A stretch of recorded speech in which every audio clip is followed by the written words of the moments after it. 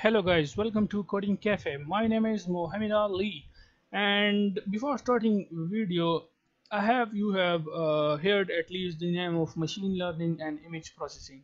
So first of all in this video I'm going to talk about the uh, what is the OpenCV I mean the OpenCV library and how we can use the OpenCV library to develop the machine learning applications and the image processing applications.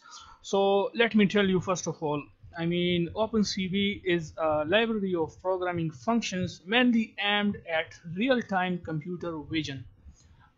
Now OpenCV which stand for open source computer vision. Is a library for computer vision and comes up with a machine learning library for decision trees boosting support vector mechanics uh, support vector machines, expectation maximization, and neural networks. I hope you have heard about the neural networks also.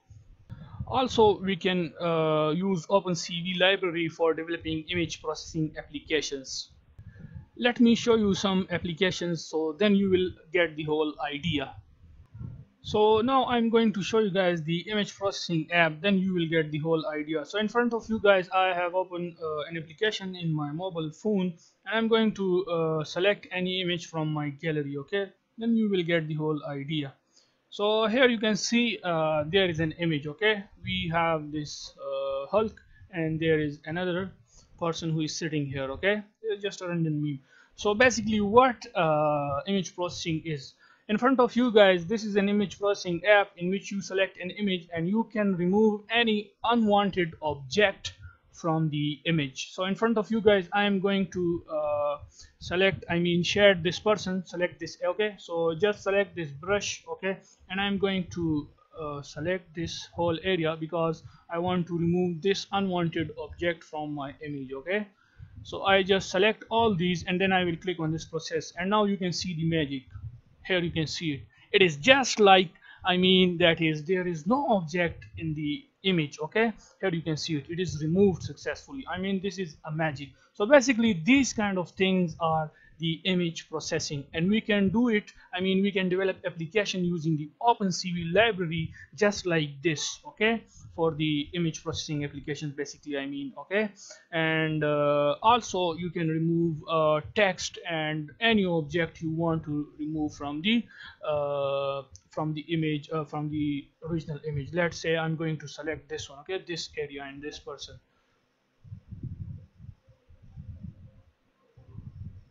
so these kind of applications we can develop using the OpenCV library which is open source.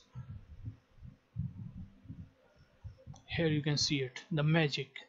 So I hope uh, you understand the whole idea of the OpenCV library and the application which we can develop using the OpenCV library. Also if I show you further examples then using the OpenCV you can create applications in which you can deduct objects in an image. That is a car a person and just like that okay?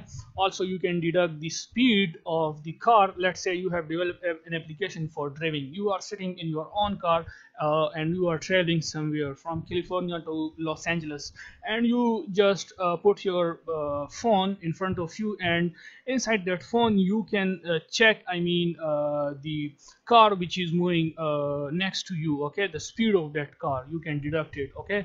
Also you can develop the security applications. I mean that is what objects the user have in their pocket. I mean you, uh, the blanket uh, the blanket you can say or the coat the overcoat which a user wear weird okay? So you can even check that objects that is i mean the security applications you can also develop using the opencv library you can also develop the face detection apps like uh, that is the you can get the person uh, uh, you can say is the person is feeling happy or sad or and also you have heard about the applications like to play music according to the user emotions okay? So all these applications we can develop using the OpenCV library okay? So OpenCV is basically a library which is used to develop image processing applications and the machine learning applications okay so yeah that's it for this video. So in the next video we will download and install and configure the OpenCV library to our Android Studio.